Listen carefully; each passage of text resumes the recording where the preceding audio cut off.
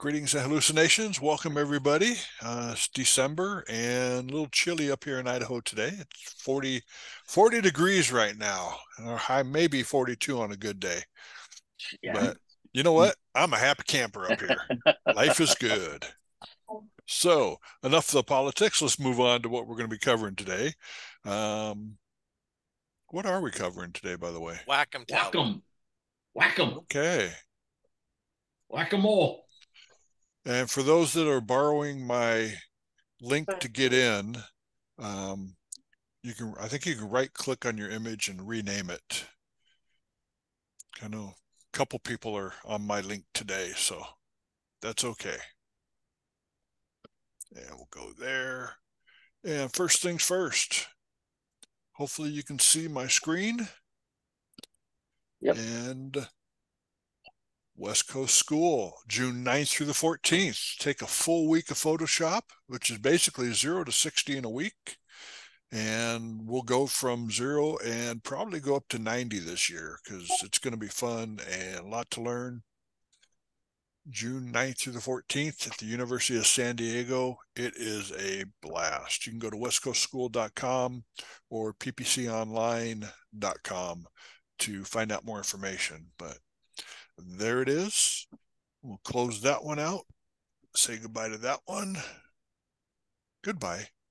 Next up is April 28th through May 3rd. We have Photoshop 0 to 60 in a week as well at Texas School. You can go to texasschool.org to sign up for that one. So, same same class, a lot of fun. So today we're going to be talking about setting up your Wacom tablet. And I do say Wacom tablet. So where am I? Idaho. Idaho. not California. I'm not in California anymore, that's for sure. Anymore. yeah.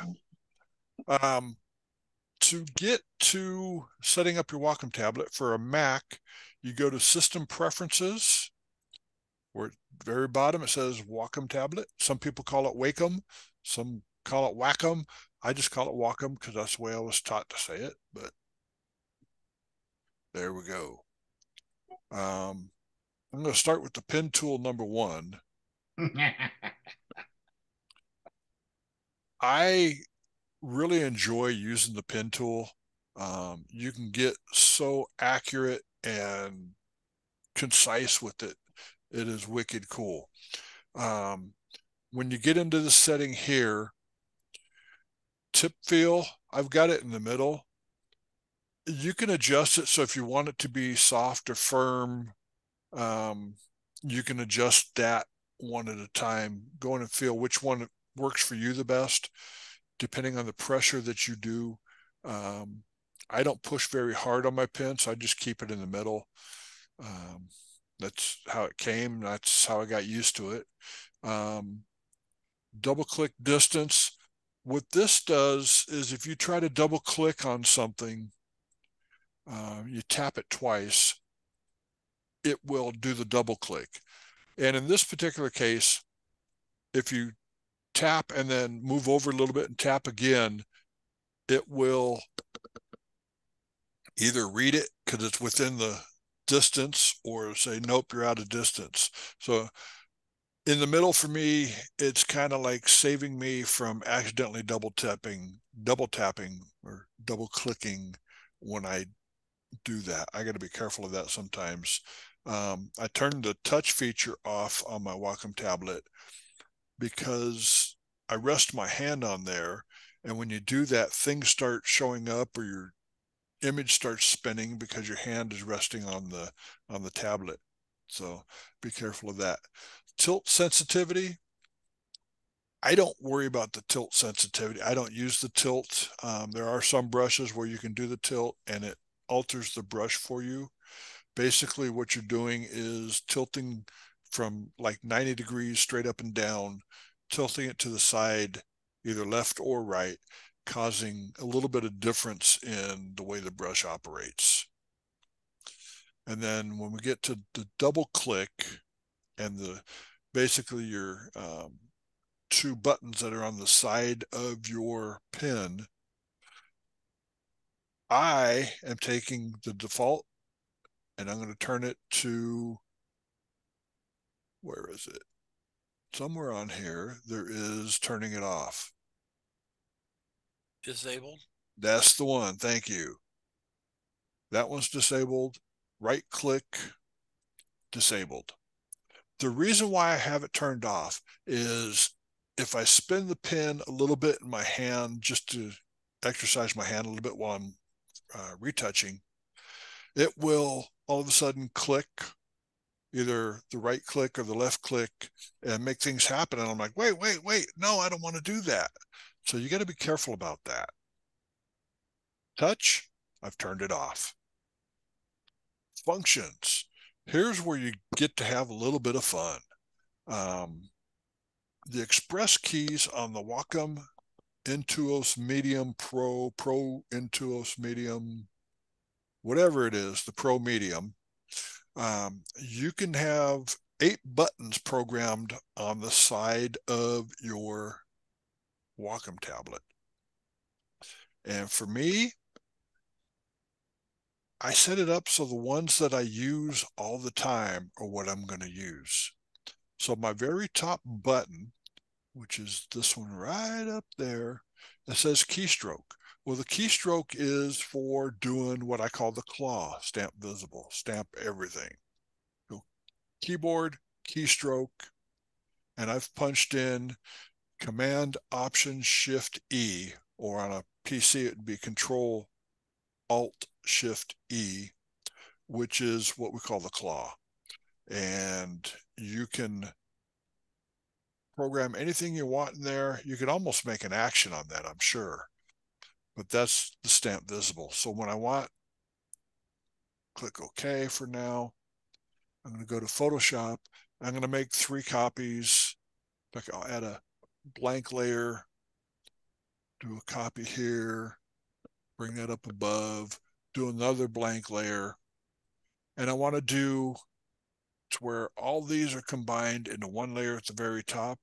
So instead of hitting Command Option Shift E or Control Op Control Alt Shift E, I hit the top button.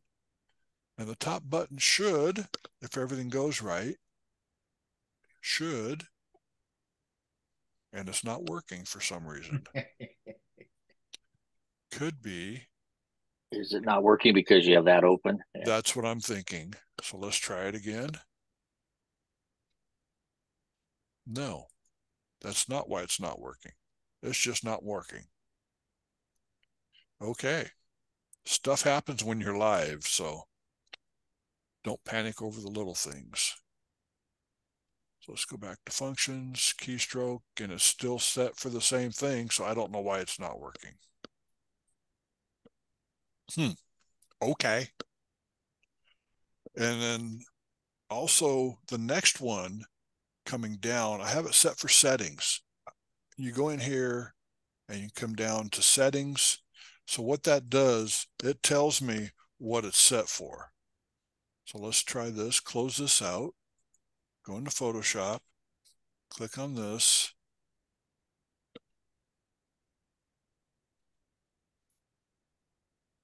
Okay. It don't want to, my buttons ain't working right now for some reason. So what I'm going to do is I'm going to disconnect my Wacom tablet, reconnect it, and see what happens.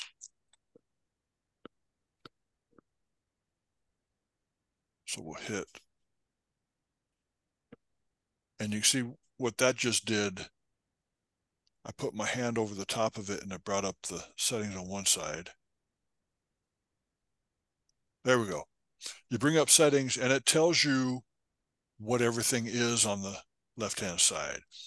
And then in the middle, both of my buttons are disabled.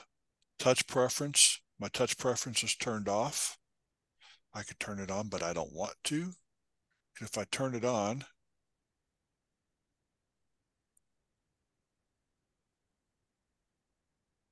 yeah, it's not going to turn on here now anyway. That's okay.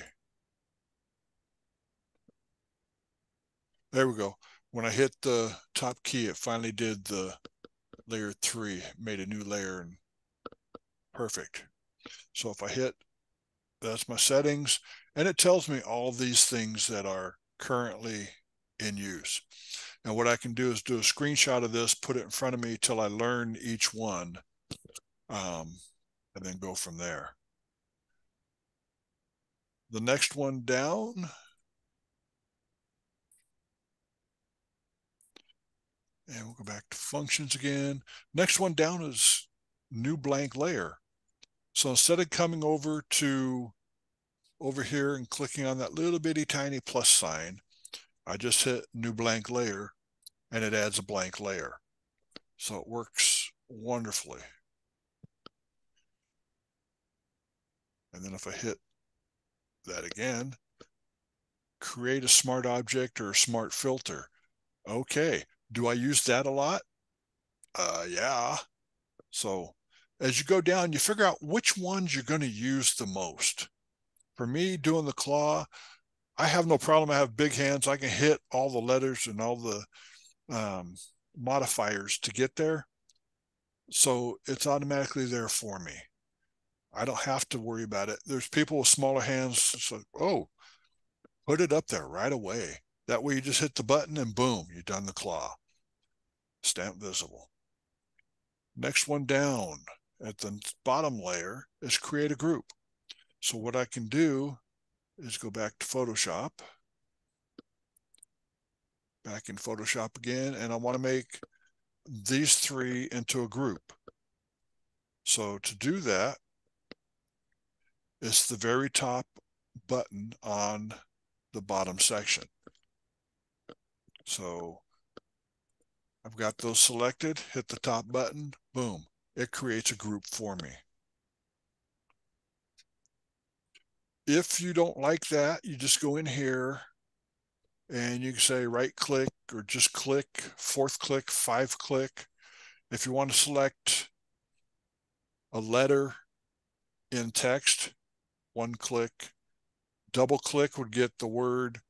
Four clicks gets the paragraph. Five clicks gets select all, if that's what you want to do. You can do keyboard shortcuts. You can do modifier. All this is super easy to fix. So it's in there no matter what you do. If you don't like it, you fix it. And as you're going down the left side, you go, wait, there's only four buttons. There's eight buttons. There's only four here. Well, you go over to the right side and then you can add the different ones that you want. Um, if I wanted to, the next one down that I have is create a clipping mask. I use clipping masks like all the time. So I'll click here and the next one down would be clipping mask. Make sure I got the right one because I'm create clipping mask, second one down. So here, create clipping mask is not working. So I don't know what the heck's going on here. Made a group. That's okay. There we go.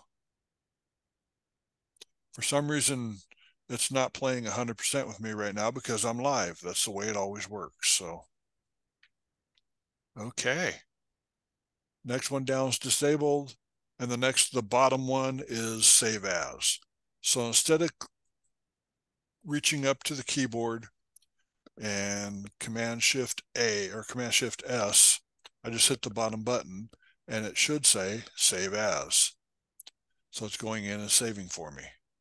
Life is good when that happens. When it works, it works great. When it doesn't work, you're embarrassed. So let's go to window, consolidate all the tabs. Why has it got no tab? Something's going on with my computer right now. There we go. Now we're in tabs. Consolidate tabs. Thank you. And this is kind of how I have my keyboard set up. When I'm retouching, I have my Wacom tablet in front of me, and you can see all the scratch marks on here for how often I use it. And that's the area that I use 99% of the time. On the right hand side would be my layers and history and actions and all that stuff. So you don't really go to that side of the computer very often. Um, I've got my keyboard in front of me and I can hit the keyboard shortcuts without a problem at the same time. I also have my mouse right next to me as well because I use both the mouse and the Wacom tablet depending on what I'm doing. If I'm working on this image, I'm going to be working on the eyes or working on the uh, skin tone, the hair, things like that. I'm going to be using my Wacom tablet so I can be more accurate, um, especially when working with the hair. I can hit J and it should bring up the last time I used J, which would be the remove tool. And if you haven't played with the remove tool, you definitely want to play with the remove tool. It is so cool. And you'll see it's going to remove the hair. Or not. That's because I'm on too many layers. Okay, flatten image. And I could make a keyboard shortcut or a shortcut on my Wacom tablet to do the same thing, but it's not one that I do all the time, the flatten image. So let's try this again.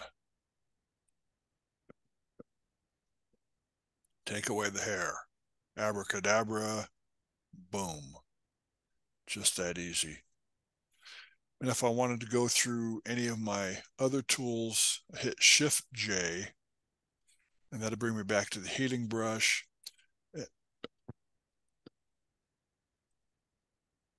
Actually, it took me to the red eye tool. There's remove tool, spot healing brush. And I'll show you the difference between the spot healing brush and the remove tool. So this is the spot healing brush. And you doesn't look too bad there. And remove tool.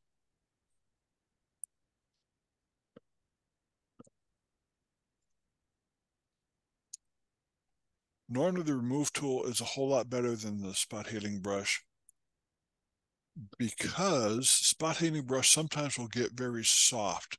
This time it took the texture and kept it in there. So life is good. I've got a 32 inch monitor with my Wacom tablet. If I wanted to do dodge and burning on the white here, probably have to go to highlights and then do some dodging and burning. Or because dodging and burning creates a little bit of color abnormality, hit Command Z, Control Z on a PC. I'm going to go to brush, go to my brush tools, my presets, go to my eye brush, and it's 7% lighten in white. And what it does is just whiten it just a little bit. If you want to do a little bit more, you can. And then also the highlight as well. And you go before and after. And even zoomed in, I feel like the eyes aren't big enough to work with. So with the Wacom tablet, you can get in and get in really tight and controlled versus a mouse, which is a pain in the tush to do. Um, if I wanted to go brown eyes, I just double click on that, color 10% in my brown. Do a couple of strokes there, couple of strokes in the right eye. So this is before, this is after. It just does a little bit of adding color. Some people have really dark, dark brown eyes where they're almost black and you need to get them in there. And with the Wacom tablet, I can control all the way along here as I'm doing it. You have your center button on the left-hand side, and you can see on the left, you have cycle layers, brush size, rotate, auto scroll. You can program that as well. So let's go back to there. And I've forgotten where to program it at, so we're not going to do that. Go to touch ring and it's under functions. Duh, thank you, Mel. Touch ring. And auto scroll zoom keystroke, which is command or the Option. option uh, right bracket, option left bracket. So you can make it bigger and smaller by using your uh, touch ring. So if we'll go to brush size, I can spin my finger around the ring. It's in brush size right now. Make it bigger, make it smaller. Rotate. I hate when rotate happens. I should program that one out. And then you got zoom in and zoom out. Auto scroll zoom.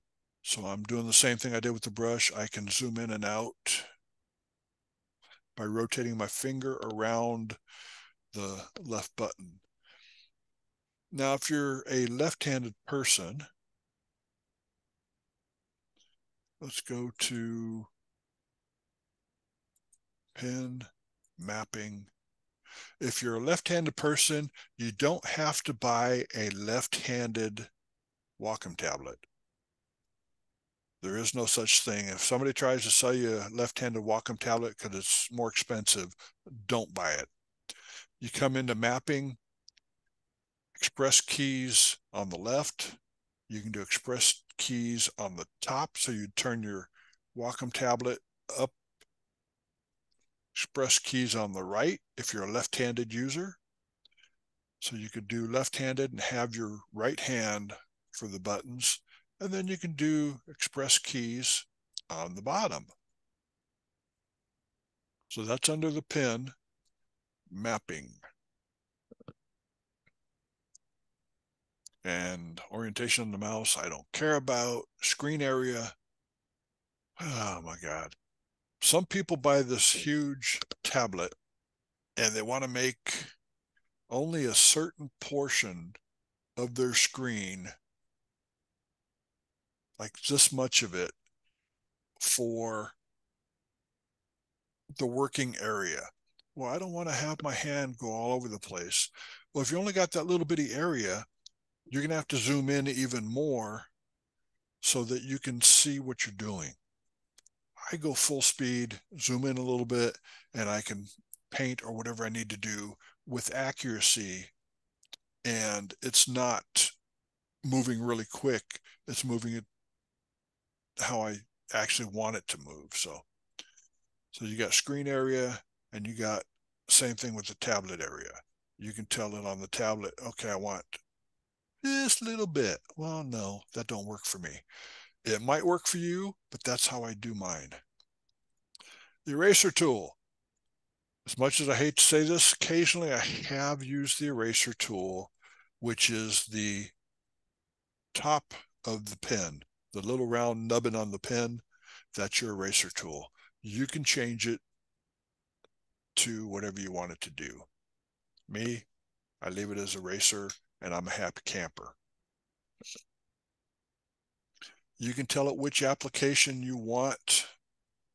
So I could add this and add mail in there. Why I would do that, I don't know. Um, but you can. And you can also take it out by clicking on the minus bar right here. Click on the minus, say delete, goodbye.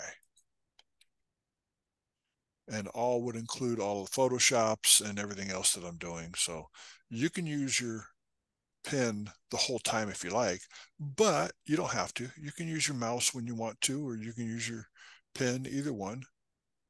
Um, for those that came in late, I disabled my um, buttons, the top and bottom buttons on my pen because I'm accidentally clicking them as I'm painting or moving it around in my hand. Sometimes I'll spin it just a nervous habit, I guess.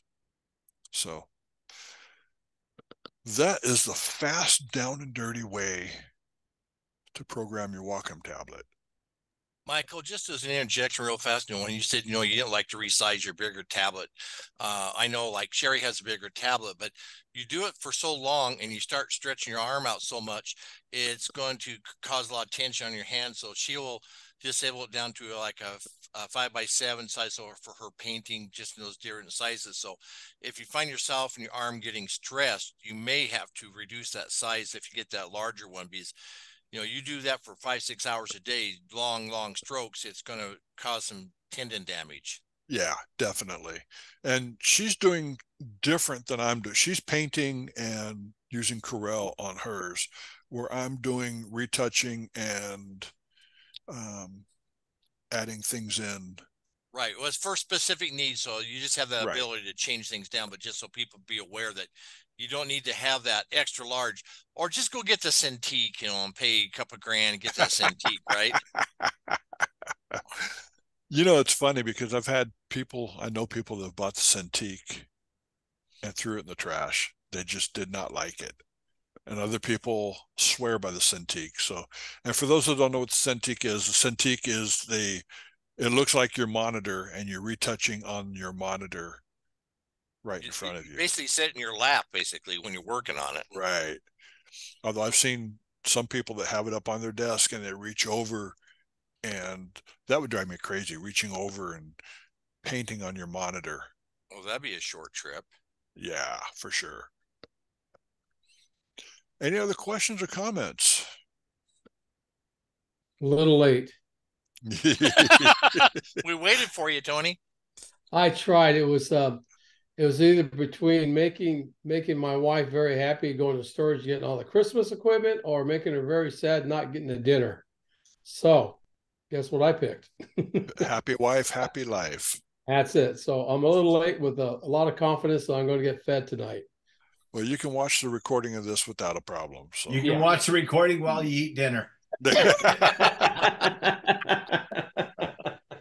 really? so How's any other everybody doing? How's everybody Hey. Michael, I've, I've got a couple of questions. okay. For, for once, I think I have an intelligent question. I may not have an intelligent Which- answer, but I'll try. Yeah, right. Which, which size do you use? I use the medium, the Wacom. Medium Pro, Intuos Okay. Medium Pro, and I I love it. The, the other question maybe is to the entire audience. Has, has anybody ever tried using an iPad Pro as a graphic tablet? I, I've, I've seen people talk about it on YouTube. Kevin, And you're shaking I your head. don't know whether- Yes. I I have played with it. Um, I like the Wacom tablet better. Um, it just is not as intuitive. It's not as easy. Um, for one thing, you have to keep moving your. Trying to remember what it is. You have to keep moving the the stylus over to the iPad off your screen, and then when you need need a menu item, you got to go back to the main screen to catch it. I think if, if I remember right. That's right. It And, just sen- and the, wasn't. sens- the sensitivity isn't there as, as much as the Wacom, in my opinion, when I tried it. Okay, okay, well, Yeah. you know, I, I have no experience and I figured that you guys probably have more experience than I'll ever have. I I've gotten used to this.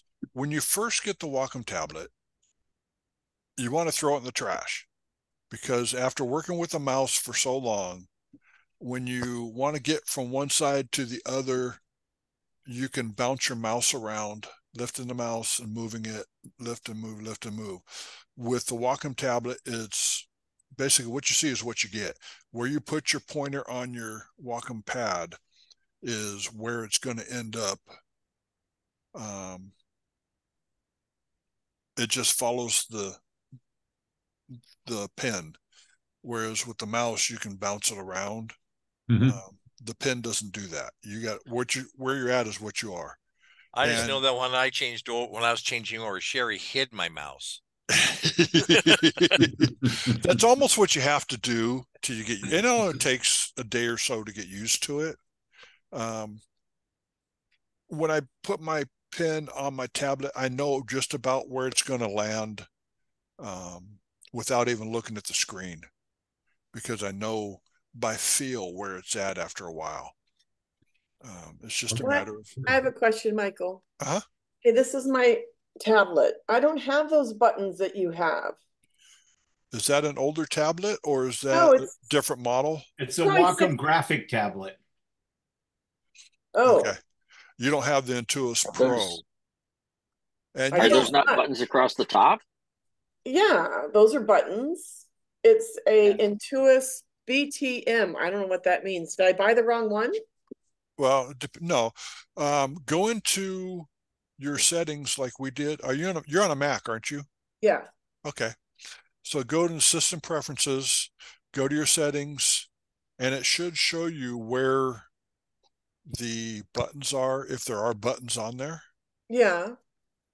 and then just program the buttons that you want to program. Okay, so same thing, just my buttons look different. Did I buy the wrong tablet? No, I've had it for about six months, but it hasn't taken three days. It's, you know, Michael, I've talked to you before about it. I know. So hard. I it, it probably took me a year to actually start liking it. And I Mhm. still use my mouse all the time. Yeah. If I'm You- if I'm using email or something like that, I'll use my mouse. When I'm retouching, you'll see a pen in my hand 90% of the time. Yeah. I'm trying to force myself mm-hmm. to do that, but Yeah. You you want to sell it? You want to sell it? 50 bucks? I'll take it off your hands. No, I never say die. I will not give up. I will master this. No, once you get the newer one, and I'll give you 50 bucks and pay shipping. I think So speak, speaking of newer, um, if I can, I had a I have a really old one. I don't even know what this is called. Um, Intuos three. Give you an idea how old it is. that's old. Um, yeah, it's very old. But I had a problem when upgrading my computer several times where I couldn't get it to work. Their Mhm. software no longer supports it. But through a couple of friends, I re- found out that there's some hacks out there that people have hacked the Wacom software to work with these older iPads or older uh, tablets. So if you've got an old one and want to resurrect it, I've resurrected a couple of really old ones for my my laptop. I mean, like 12 years old, and they work just fine. Hmm. So apparently they're they're tweaking the software to make you buy new ones every of course. so many years. I wonder yeah. where they learned that. Yeah, built- uh, them and Adobe. Yeah, built-in obsolete, built-in obsole- obsolescence. Yep, exactly. Um, but there are I have- hacks out there. So I have a question for you, Michael. okay. Every, every time, I, every time I move my uh, pin over, sometimes the uh, the uh, the little wheel on the left hand side Mhm. it comes up, and I go like I never got near the wheel. It just kind of ghosts up and have all these you know uh, things on there. It's like it just pops up for no reason, and I have to exit out to get you know to go back to work. It should go off by itself after a short period of time. And it doesn't. I actually have to physically exit out. Okay, let me share my screen real quick. While you look at that, also think about. I, I kind of know the answer, but once you explain how often you replace your nibs. I actually haven't replaced my nibs very often, and I'll talk about nibs in just a second. But if I push on the button to bring up the circle, it lasts for only what two seconds, three seconds max. Yeah. Mine comes up right in the middle of the screen. Yeah, mine won't come over. So, hmm, Hmm. interesting. I mean, I Um, went I went in the syst, uh, in the system's preferences and cannot find why it does that. I don't know. Now the nibs, this this, this one's uh, the uh, the new one, so it's a brand new pin and everything. And I have a smaller one that um, I want to get rid of for like fifty dollars and a case Shipping. of pineapples. What do you want to make some pina coladas over there? That's right, baby. Yeah.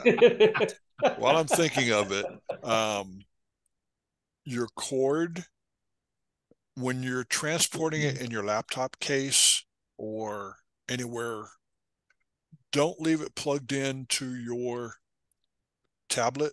Unplug it and wrap it around or put it in like a circle like this, what will happen is the little wire that plugs into your connector will start to fray a little bit or start to short out because of the tension that's put on it when you wrap it around.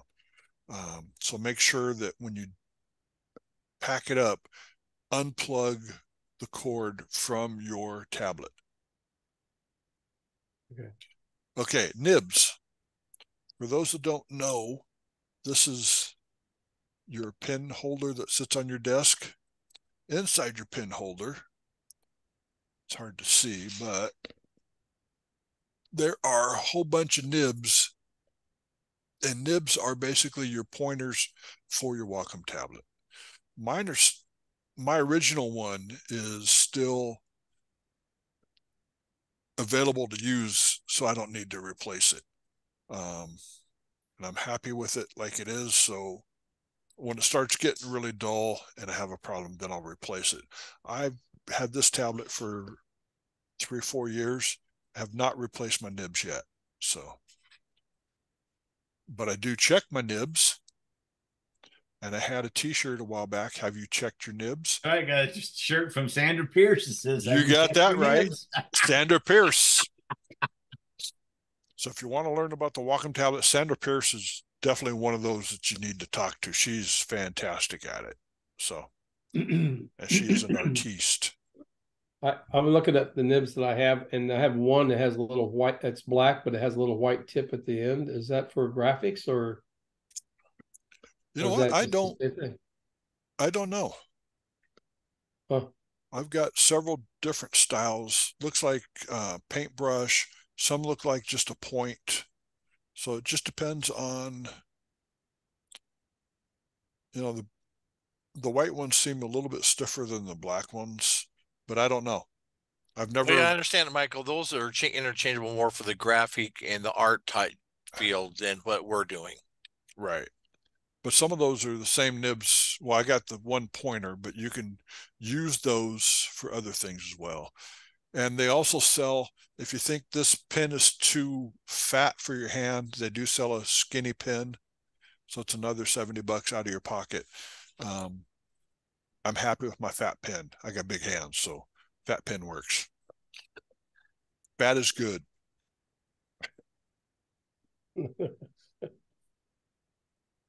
Any other questions? Going once, going twice.